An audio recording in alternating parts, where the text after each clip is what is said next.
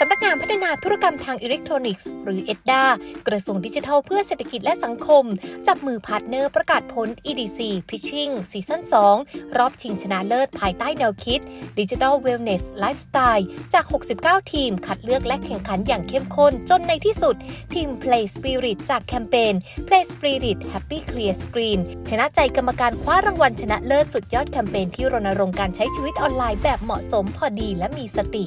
วันนี้เป็นอีกวันหนึ่งที่เอ็ดด้ากับหน่วยงานที่อยู่ในเครือข่ายความร่วมมือนะครับจัดกิจกรรมแข่งขันกันนะครับพิชชิ่งก็มีสมัครกันเข้ามาเยอะเลยครับ 69 ทีม จริง ๆ ทั้ง 69 ทีมก็สุดยอดหมดนะฮะวันนี้ 5 ทีมที่ได้รับรางวัลก็แสดงให้เห็นความตั้งใจนะครับที่จะทำให้สังคมไทยเนี่ยดีขึ้นจากการที่ใช้ดิจิทัลเทคโนโลยีให้น้อยลง เพราะว่าใช้มากเกินไปเนี่ย เกิดทำให้เกิดปัญหาทางด้าน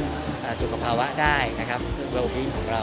ดังนั้นเนี่ยวันนี้ก็มาร่วมมือร่วมมือกันครับทำให้สุขภาวะของประเทศไทยดีขึ้นครับ